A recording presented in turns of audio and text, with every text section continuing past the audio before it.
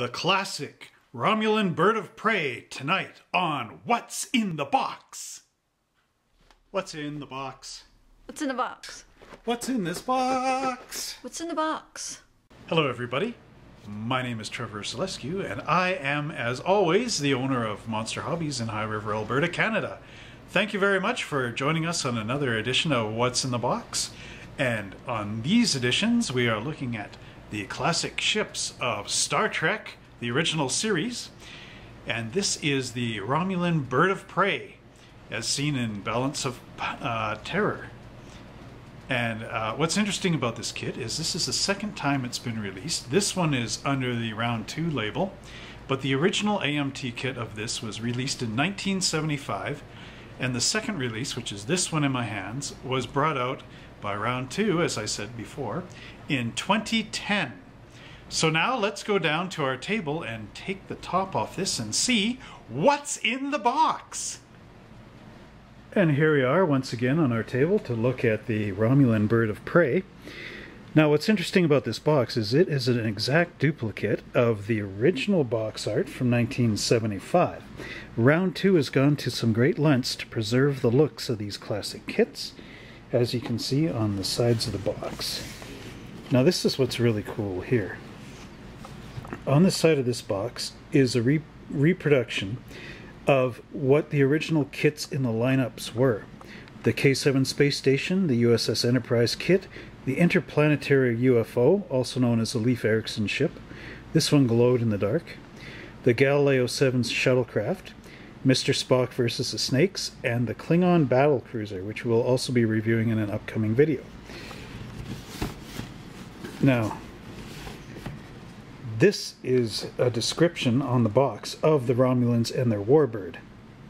The Romulan ship, painted like a giant bird of prey, was introduced to Star Trek viewers on the Balance of Terror episode during the series' first season. The Romulans, an offshoot of the Vulcan race, were allied with the ruthless Klingons against the United Federation of Planets, championed by Captain Kirk's USS Enterprise. After an inconclusive war between the bad guys of the Star Empire and the Federation's good guys, a peace treaty was negotiated as and a neutral zone established between the two combatants. The treaty was the treaty remained unbroken except for one major incident depicted in Balance of Terror. The Romulan ship was armed with a plasma energy weapon which rendered all defenses useless.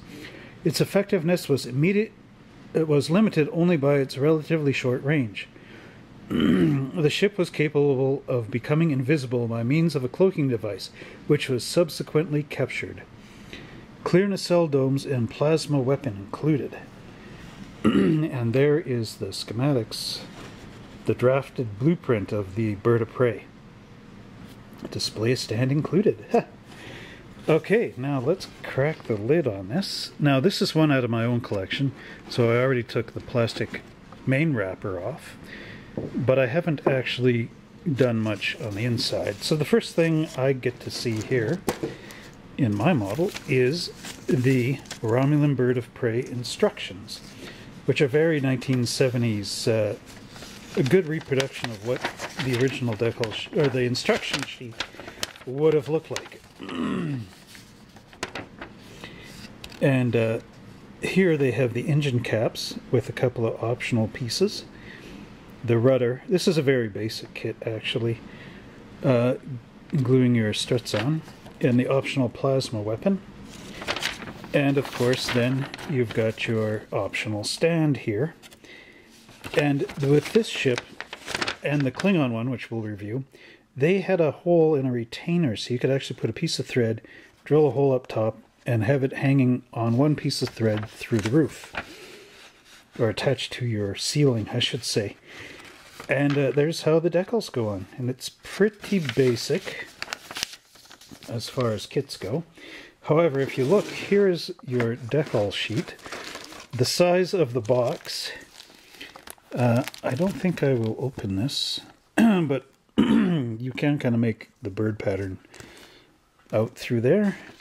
And of course, they give you the little book. Now, maybe I will open these. So,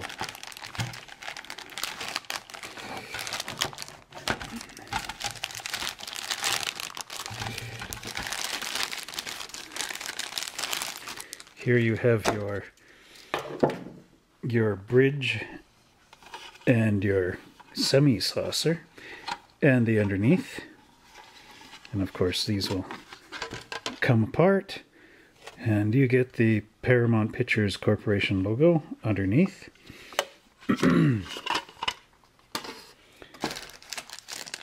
And that's metal rod for your display stand and your clear engine nacelle caps. You can also build this with solid nacelle caps.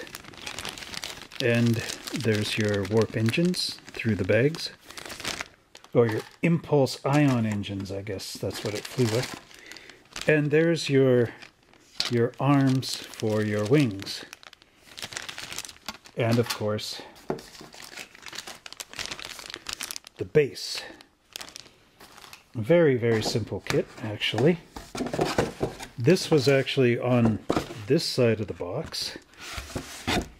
But it says treacherous. Warlike and cruel, the infamous Romulan Empire was remembered for allowing no quarter, no prisoners of war, and no survivors. But nearly a century of peace has passed since the last battle of the brutal Earth Romulan conflict. The establishment of the neutral zone provided a long lasting buffer between the two races to maintain peace after a devastating war.